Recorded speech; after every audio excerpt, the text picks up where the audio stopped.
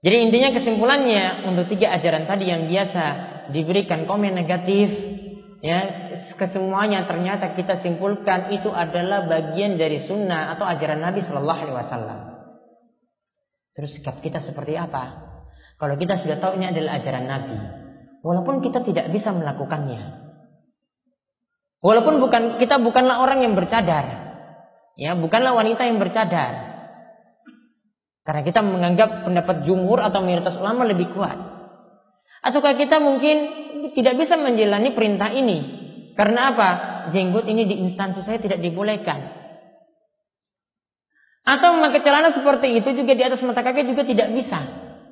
Maka yang lebih penting di sini adalah pokoknya ketahui ini adalah ajaran Nabi. Cukup diam dan jangan banyak komentar untuk menjelekkan orang lain.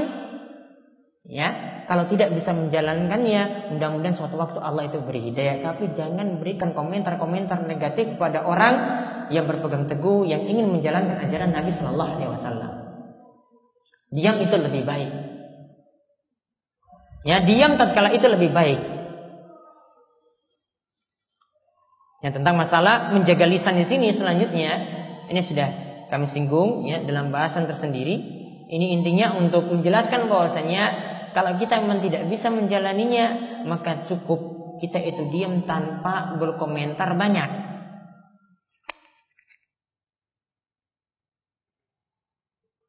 Sebagaimana kita ketahui bahwasanya seseorang itu bisa tersungkur ke dalam neraka cuma gara-gara lisannya. Nabi SAW misalnya mengatakan Innal abda la yatakallamu bil kalimati ma yatabayyanu ma fiha yahwi biha finnar ab'ada ma bainal masyriqi wal maghrib. Sesungguhnya ada seorang hamba. Dia berbicara dengan suatu kalimat. Ya, dengan suatu perkataan yang tidak dipikirkan bahayanya terlebih dahulu. Gara-gara itu membuatnya dilempar ke neraka dengan jarak yang lebih jauh daripada jarak antara timur dan barat. Lihat cuma gara-gara berkomentar saja seperti itu diancam untuk masuk ke neraka yang jauhnya itu sangat luar biasa, jarak antara timur dan barat jauhnya. Artinya tanpa ujung. Dan perlu ketahui bahwasanya kalau sudah jelas ini ajaran Nabi Sallallahu Alaihi Wasallam, ada satu poin penting yang perlu diperhatikan tentang bahaya mengolok-ngolok ajaran Nabi. Allah Subhanahu wa taala itu telah melarang mengolok-olok ajaran Nabi, bahkan itu dalam rangka bercanda sekalipun itu tidak boleh diolok-olok. Ajaran-ajaran Islam yang ada tidak boleh diolok-olok. Baik yang berkaitan tentang masalah akidah, tentang masalah kubur, tentang masalah surga dan neraka. Ya begitu juga tentang hukum-hukum yang lainnya, ajaran-ajaran Islam yang lainnya. Tidak boleh jadi bahan guyonan. Tidak boleh jadi bahan lawakan. Allah Subhanahu wa taala katakan dalam surat At-Taubah ayat 65 sampai 66. Wala in sa'altahum la yaqulunna inna ma kunna nakhudhu wa nal'ab. Qul abillahi wa ayatihi wa rasulihi kuntum tastahzi'un la ta'taziru qad kafartum ba'da imanikum. Allah Subhanahu wa taala berfirman. Dan jika kalian ditanyakan kepada mereka tentang apa yang mereka lakukan itu, yaitu ketika mereka bersenda gurau dengan ayat-ayat Allah Subhanahu wa taala, tentulah mereka akan menjawab inna kunna nakhudhu wa nal'ab. Kami tadi cuma main-main, cuma guyon saja. Maka Allah katakan, "Kul abillah, apakah dengan ayat apakah dengan Allah? Wa ayatihi, apakah dengan ayat-ayatnya? Wa rasulihi, apakah dengan rasulnya? Kuntum tastahziun, kalian jadikan bahan candaan, bahan olok-olokan." Kemudian Allah katakan, "La ta'taziru, kalian tidak diberi maaf." Qad kafartum kalian telah kafir setelah sebelumnya kalian itu beriman. Kalian telah kafir setelah sebelumnya kalian itu ber, beriman. Maka untuk ayat ini surat At-Taubah ini ternyata ada asbabun nuzulnya. Namun ingat ya, tidak semua ayat dalam Al-Qur'an itu ada asbabun nuzul. Sebagiannya itu ada, sebagiannya tidak ada. Imam As-Suyuti itu punya kitab tentang asbabun nuzul juga namun beliau itu tidak menyebutkan asbabun nuzul untuk setiap ayat. Ayat ini ada asbabun nuzulnya, sebab turunnya ayat tersebut. Ya, menceritakan tentang ini tentang itu. Ada. Ada yang tidak ada atau ada yang riwayat-riwayatnya itu lemah. Jadi kalau ada yang ingin mengatakan bahwasanya ini kita harus tahu asbabun nuzulnya seperti apa, belum tentu setiap ayat itu ada asbabun nuzul. Maka kita lihat kisah dari ayat ini tentang ayat ini. Yaitu diriwayatkan dari Hisham bin Sa'ad dari Zaid bin Aslam. Disebutkan bahwa pada perjalanan perang Tabuk jadi saat perang ada orang dari kalangan munafikin berkata kepada Auf bin Malik. Jadi karena pulang dari perang Tabuk dalam perjalanan perang Tabuk mereka tidak ada bahan candaan. Ya, dulu itu tidak ada HP untuk ngisi waktu itu nggak ada.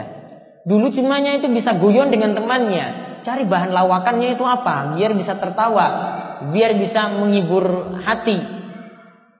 Itu bagaimana? Ya, apa yang jadikan bahan candaan? Maka di sini dikatakan ya, bahwasanya mereka mengatakan kepada Auf bin Auf bin Malik. Kami itu tidak pernah melihat seperti ahli baca Al-Qur'an ini.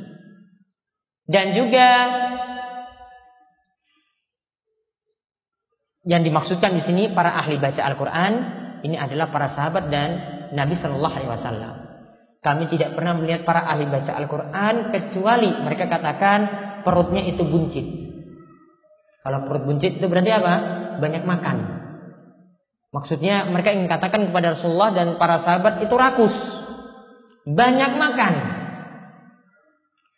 Kemudian kami tidaklah pernah melihat yang perkataannya lebih dusta. Jadi mengatakan Rasul dan para sahabat itu dusta dan juga yang paling pengecut tatkala medan tatkala di medan perang. Ini dikatakan ditujukan bahan lawakan ini, guyonan ini kepada Rasulullah sallallahu alaihi wasallam dan para sahabat. Maka ketika itu Auf Malik itu mendengar. Mendengar orang-orang munafik ini berbicara. Mereka katakan ya seperti itu kemudian Auf mengatakan kalian itu dusta, kalian itu munafik. Kemudian sungguh aku akan melaporkan ucapanmu tadi kepada Rasulullah Sallallahu Alaihi Wasallam. Kemudian Auf bin Malik pun pergi menghadap Rasulullah Sallallahu Alaihi Wasallam. Namun sebelum Auf itu sampai menemui Rasul, ternyata wahyu itu sudah turun. Wahyu itu sudah turun membicarakan tentang orang-orang munafik tadi. Kemudian ketika itu dikatakan oleh Zaid bahwa Ibnu Umar itu bercerita sepertinya aku melihat orang yang tadi ngolok-ngolok tadi itu berpegangan pada tali pelana unta Rasulullah Shallallahu Alaihi Wasallam. Jadi pegang-pegang tali unta Nabi Shallallahu Alaihi Wasallam. Artinya Nabi itu ingin dikejar-kejar meminta maaf. Meminta maaf tadi dia ingin katakan kami itu main-main. Dia katakan pada Nabi SAW sambil tersandung-sandung di batu. Dia katakan pada Nabi, Inna makuna nakhudu wa nal'ab. Wahai Nabi, Tadi kami itu cuma guyon. Tidak ada bahan candaan. Tidak ada bahan untuk membuat kami itu tertawa, menghibur kami itu tidak ada. Ya. Tidak ada seperti itu. Maka kemudian Rasulullah SAW berkata kepada mereka, Abillahi wa ayatihi wa rasulihi kuntum tastahzi'un. La ta'tazir qad kafartum ba'da imanikum. Apakah dengan Allah, dengan ayat Allah, dengan Rasulnya Kalian jadikan bahan olok-olokan, jadikan bahan candaan? Kalian tidak diberi maaf. Kalian telah kafir setelah sebelumnya kalian itu beriman. Maka lihatlah Bagaimana seorang itu bisa kafir seperti itu gara-gara mengolok-ngolok ajaran Nabi Sallallahu Alaihi Wasallam, menjadikan bahan candaan. Bagaimana lagi dengan orang yang mencela ajaran Nabi SAW secara langsung? Ini cuma jadikan bahan candaan loh, ini tidak serius. Cuma main-main. Apalagi orang yang serius mengolong-olong ajaran Nabi. Maka ketika itu setelah Nabi SAW mengatakan seperti itu, Nabi tidak memberikan satu patah kata pun setelah itu. Beliau tidak lagi berbicara. Maka dari sini para ulama itu katakan tentang bahaya orang yang mencela salah satu dari ajaran Nabi Shallallahu Alaihi Wasallam.